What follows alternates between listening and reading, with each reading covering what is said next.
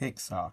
It's finally about time you made this sequel after waiting for 14 years.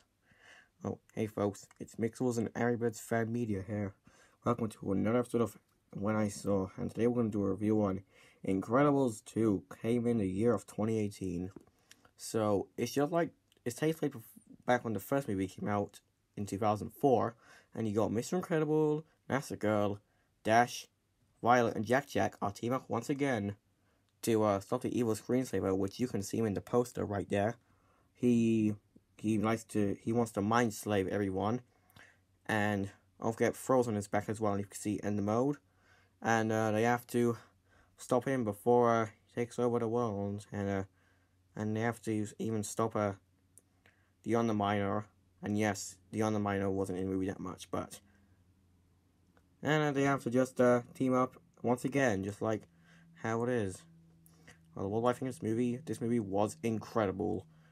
And yes, I saw this movie in theaters today, and I loved it. It was a truly masterpiece.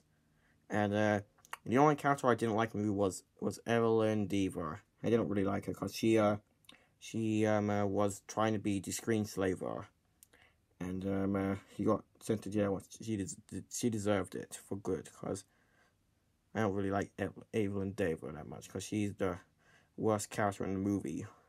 All the other scenes were really cool. My favorite part is when uh, when Jack Jack fights the raccoon. That scene was so funny and epic. That was a really cool scene. And uh, Mr. Incredible was so awesome in the movie. Yeah, he gave a lot of ass in this movie, just like uh, in, in the boat scene. And yeah, I'm gonna be seeing more movies this month. Uh, so yeah, that is all for this review. And uh, see this movie while you can, cause it, cause you need to see it. Anyway, this is Mixels and Airbirds Fan Media signing off.